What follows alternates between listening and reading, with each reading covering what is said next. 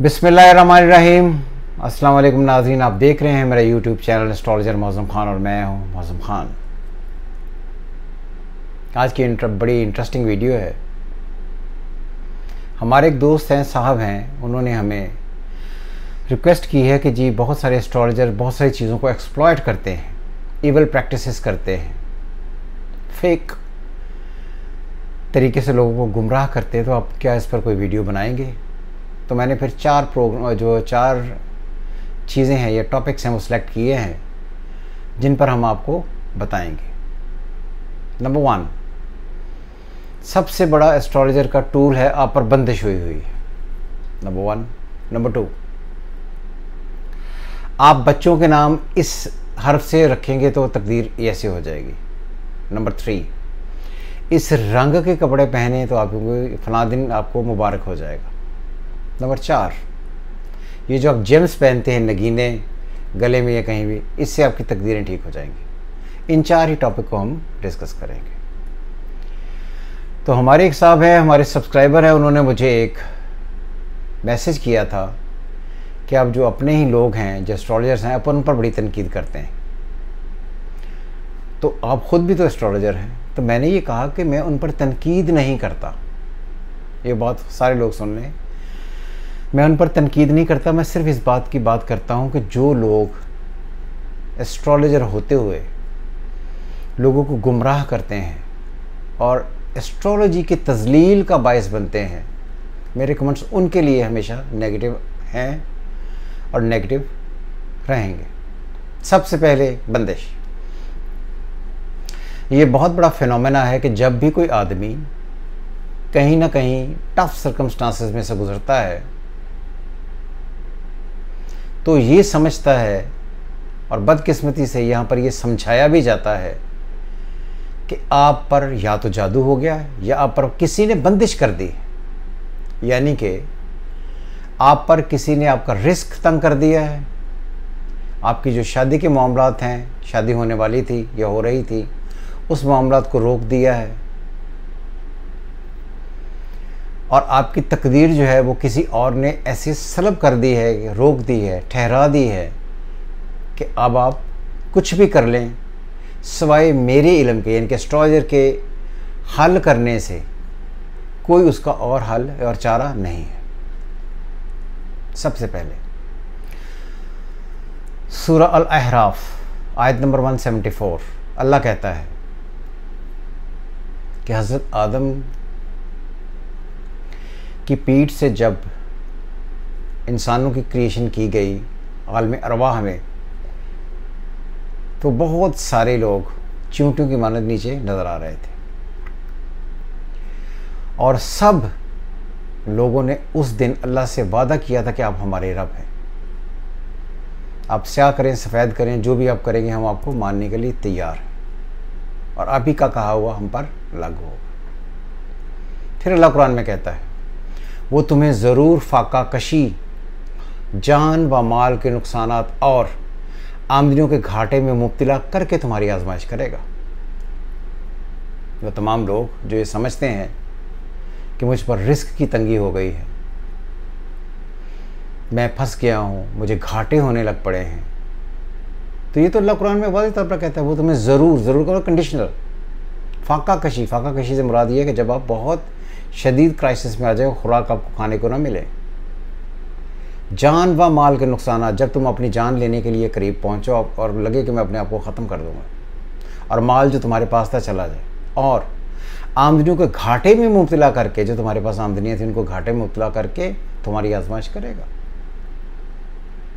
तो ये तो कुरान वाज तौर पर कहता है, और वो औरतें और मर्द जो कहते हैं, शादी से मतलब मामला बड़े ख़राब हो गए उसके लिए है अल्लाह कुरान में कहता है सूर अल हदीद आयत नंबर 42 तुम पर और तुम्हारे नफ्स पर जितनी प्रॉब्लम्स आती हैं मुश्किल आती हैं, हमने उनको पैदा करने से पहले एक किताब में लिख रखा है। ऐसा करना अल्लाह के लिए बहुत आसान काम। इसका मतलब कि जो तमाम मामला आपकी शादी से मतलब आपके सेक्सुअल लाइफ के मतलब आपकी सेक्सुअल एक्टिविटी के मतलब जितने भी आते हैं, अल्लाह ने तो पहले इनको लिख दिया है। तो मुझे ये बताएँ सिंपल के कौन ऐसा आदमी है जो अल्लाह की लिखी हुई तकदीर को रोक दे और अपना हुक्म उस पर सादर कर दे? जब आप बंदिश की बात करते हैं तो आप ये कहना चाहते हैं बेसिकली कि अल्लाह ने जो कुछ लिखा था, वो तो ठीक है। मगर किसी एक आदमी ने आकर अल्लाह की बहती हुई तकदीर को रोक दिया और उसने जो अमल किया उसकी वजह से उसने अल्लाह की तकदीर रोकने के बाद वो ज़्यादा मोतबर हो गया और उसकी वजह से हमारी तकदीर रुक गई सिंपल अल्फाज में आप ये कहना चाहते हैं कि आप जिस शख्स ने आप पर बंदिश की, वो अल्लाह से ज़्यादा ताकतवर है ना उस बिल्ला अगर वो अल्लाह से ज़्यादा ताकतवर है तो फिर तो अल्लाह की ज़रूरत नहीं, फिर नाउज बिल्ला वही खुदा है। इसलिए कि ये जो बंदिश बंदिश वाला कॉन्सेप्ट है, इससे निकले। मगर क्योंकि हमारे यहाँ पर ये प्रॉब्लम्स हैं, जितना मर्ज़ी इनको समझा लें समझ नहीं आएगी, लेकिन फिर भी ये ऐसे ही अमल करेंगे। इसलिए ये बात याद रहे, ऐसा कोई कॉन्सेप्ट बंदिश का इस्लाम में नहीं। ये इंडियन कॉन्सेप्ट हैं, हिंदुओं के कॉन्सेप्ट हैं, जो अपनाते हैं और इसी वजह से कहा जाता है बार बार कि इंडियन एस्ट्रोलॉजी रेमेडी पर बेस करती है रेमेडी पर वो लोगों को बेवकूफ़ बनाने के लिए ये अमल कर लें, ये पढ़ लें, पत्थर फेंक दें, यूँ कर लें, कुत्तों को खाना खिला दें, पता नहीं क्या क्या कर लें, ये सारे काम करने के से वो समझते हैं कि वो तकदीरें ठीक कर रहे हैं। ऐसा कोई काम इस्लाम में नहीं है, सो कोई बंदिश नहीं होती। दूसरा, बच्चों के नाम आप इस लफ्ज़ से रख लें तो उनकी तकदीरें ठीक हो जाएँगी। दूसरी बात यह है, जो वर्ड्स वाइब्रेशन है वाइब्रेशन की थ्योरी है, ये वर्ड्स वाइब्रेशन की थ्योरी है, और ये इन्होंने पौधों पर लगाई थी, पौधों के साथ उन्होंने रखकर म्यूज़िक बजाना शुरू किया तो उसकी ग्रोथ ज़्यादा होना शुरू हुई। इंसान के लिए जब आप नाम रखते हैं तो ये उसकी मेंटल साइकोलॉजी को दर्शाता है, ये पेश करता है। इस बात को अपने जहन में रखें साइकोलॉजी और तकदीर दो अलग अलग चीज़ें हैं। साइकोलॉजी आपकी अकल है, जिस अकल से आप फैसले करते हैं, जो आप समझते हैं। और तकदीर अल्लाह का हुक्म है इंसान पर। जो अल्लाह चाहेगा वही होगा। सिंपल तरीके से मैं उसकी मिसाल देता हूँ। क्या आप ये जहाँ जिस घर में पैदा हुए हैं, इस घर में आपका कोई इख्तियार था? नहीं, ये तकदीर। है आप जो अकल, शक्ल लेकर पैदा हुए हैं, क्या उसको तब्दील कर सकते हैं? नहीं, ये तकदीर। है जिस इतना भी आपने आज तक रिस्क कमाया, आपकी अपने एफर्ट से आया? नहीं, ये उसका देन था। तो इसलिए बहुत सारी चीज़ें मैं अगर इस पर बयान करना शुरू करूँ तो दो घंटे लग जाएँगे। मगर ये बात याद रखें कि बच्चों के नाम रखने से तकदीरें नहीं बदलती। अब मुझे ये बताएँ, ये जो एस्ट्रोलॉजर्स या न्यूमरोलॉजिस्ट ये सारे सजेस्ट करते हैं, इनकी अपनी औलादें और ये ख़ुद, कितने बड़े स्टार बन गए हैं कि इन्होंने अपने नाम की वाइब्रेशन चेंज करके अपनी तकदीरें ठीक कर लें। इनमें से आज तक कोई स्टार बना? कभी नहीं हमने सुना होगा।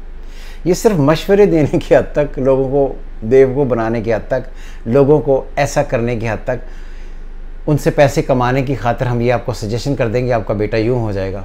जब प्लानिटरी कंडीशन यानी कि जो इब्तदाई तकदीर या हतमी तकदीर है, वो ठीक नहीं है तो अब कुछ भी नाम रख लें।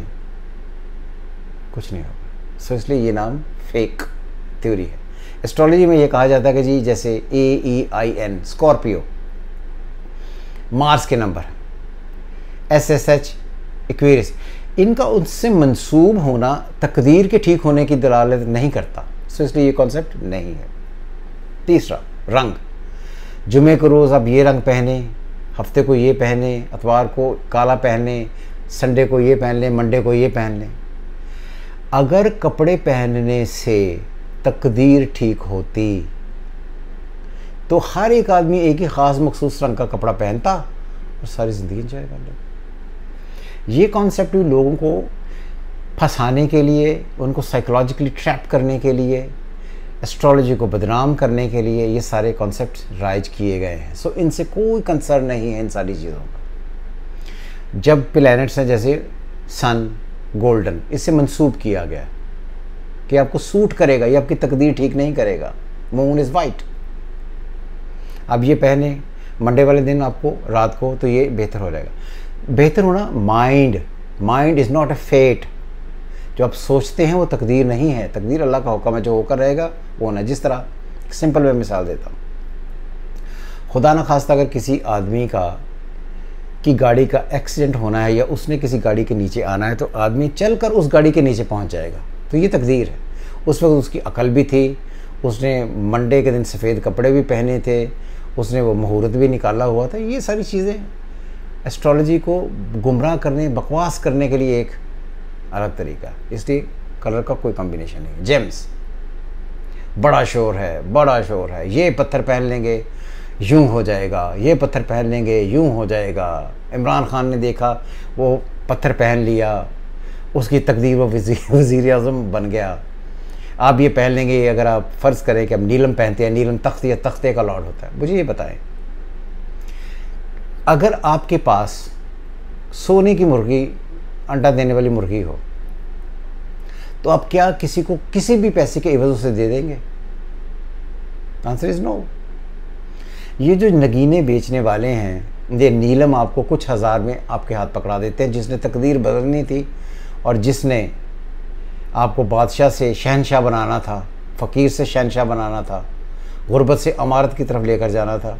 ये पत्थर आपके लिए काम कर रहा, लेकिन जो बेच रहा है उसके लिए नहीं कर रहा। आपकी अगर शादी नहीं हो रही तो आप मरकरी का पत्थर पहन लें। मैं समझता हूँ कि पत्थर जो है, इनमें एनर्जी है जेम्स हैं। जेम्स में ख़ास तौर पर एनर्जी होगी। जिस तरह आपने देखा होगा मैग्नीफाइंग ग्लास होता है, उस पर रेज पड़ती हैं तो रेज पेनिट्रेट होकर इंसान की बॉडी जो है विच इज़ कॉल्ड ह्यूमन और उसको स्ट्रॉन्ग करती है। Then again is a body it's not a fate body का स्ट्रॉन्ग होना तकदीर से उसका क्या ताल्लुक है? अगर आप में कोई डेफिशिएंसी है फिज़िकली तो उसको जेम्स किसी हद तक स्ट्रेंथन कर देगा एनर्जाइज कर देगा।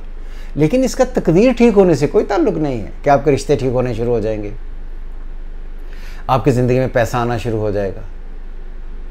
आपकी ज़िंदगी में बहारें आना शुरू हो जाएँगी। ये सब लोग अपने अपने ज़ाती मफादात और पैसे कमाने के लिए लोगों को गुमराह करते हैं। तो इसलिए मैंने जो आज वीडियो बनाई इस पर और भी बहुत सारे टॉपिक हैं, लेकिन मैंने चार इश्यूज़ सिर्फ़ इसलिए छेड़े कि ये वो इश्यूज़ हैं जहाँ जो आप हर रोज़ कहीं ना कहीं देखते होंगे, लोग आपको इनके ज़रिए कहीं ना कहीं से बेवकूफ़ बनाने की कोशिश करते हैं। अब फ़लाँ रंग पहन लें, फ़लाँ पत्थर पहन लें, फ़लाँ दिन पहन लें, फ़लाँ टाइम पर पहन लें। बच्चों का नाम इससे, अब इसको गया इसलिए, बच्चों के नाम सिर्फ़ इसलिए बदले जाते हैं कि नाउज़ बिल्ला नाउज़ बिल्ला अल्लाह का नाम तो कभी भी किसी आदमी का नाम रखना ही नहीं चाहिए। कि जब कोई भी बच्चा गलती से, कोई गलती कर बैठता है तो उसके पेरेंट्स उसे थप्पड़, गालियाँ या इस तरह एक रूड बिहेवियर करते हैं। तो उस लिए मना किया जाता है कि उस नाम की बेहरमती ना हो। जब आप उसको पुकार कर वो अल्फाज बोलते हैं तो उस बेहरमती से बचने के लिए ये कहा जाता है। सो आई थिंक कहीं ना कहीं मैंने आपको कुछ ना कुछ इसमें कंट्रीब्यूशन ज़रूर दिया होगा।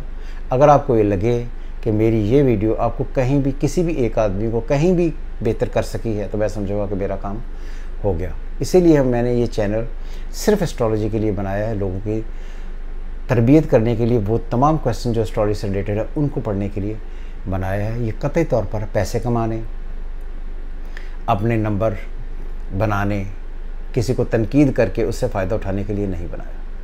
खुश रहें, हमेशा की तरह खुदाफ़ पाकिस्तान, जिंदाबाद।